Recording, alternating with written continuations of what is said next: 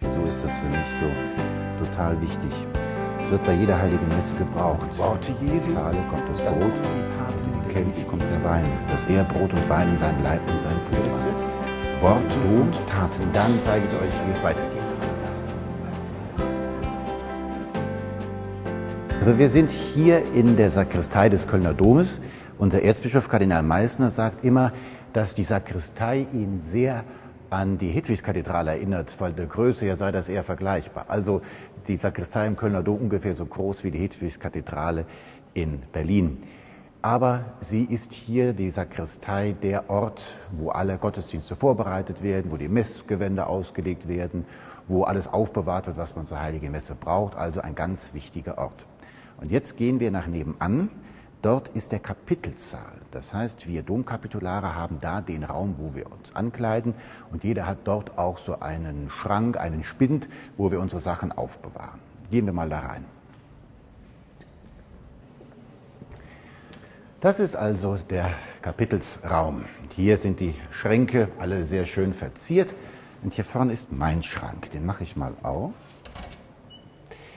Hier sieht man die Chorkleidung, die feierliche und andere Sachen Stohlen, die aufbewahrt werden. Und hier ist etwas, was für mich in meinem Leben total wichtig ist. Und das möchte ich mal rausholen. Das ist nämlich hier in diesem Köfferchen drin. Und zwar ist das mein Kelch. Dazu gehört noch diese Hostienschale. Den habe ich bekommen zu meiner Priesterweihe benutze ihn fast täglich, wenn ich nicht auswärts die heilige Messe habe. Es ist schlicht gestaltet, aber dennoch wertvoll. Das Material ist Silber, vergoldet. Hier sehen wir einen Knauf Email mit dem Fisch, ein Symbol für Christus. Wofür ist so etwas Wertvolles? Wieso ist das für mich so total wichtig? Es wird bei jeder heiligen Messe gebraucht. Auf die Schale kommt das Brot, und in den Kelch kommt der Wein. Und wir glauben, dass bei der Wandlung, wenn der Priester dann sagt, das ist mein Leib, das ist mein Blut, wenn er die Worte Jesu verwendet, dass das nicht Brot bleibt und Wein bleibt, sondern dass das wirklich Leib und Blut Jesu Christi wird. Das heißt, dass in dieser Schale und in diesem Kelch tatsächlich Jesus Christus wirklich gegenwärtig ist. Und damit wir das nicht vergessen, weil das Brot immer noch unscheinbar aussieht und der Wein immer noch unscheinbar aussieht wie Wein, dass wir nicht vergessen, wer das ist, den wir hier in Händen halten. Deshalb ist das so etwas Wertvolles, deshalb ist das Silber vergoldet.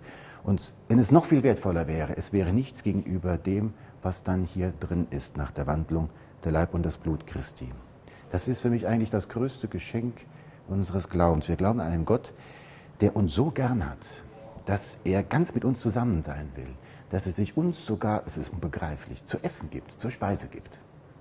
Das ist das größte Geschenk, finde ich, unseres Glaubens. Das ist das Wichtigste, was ein Priester tun kann, die heilige Messe feiern. Und deshalb ist dieser Kelch für mich so wichtig. Weil das eben so wichtig für mich ist, wird das auch dieser Kelch und diese Patene, wie man sagt, wieder sorgfältig verpackt, verschlossen und zurück in meinen Spind gebracht.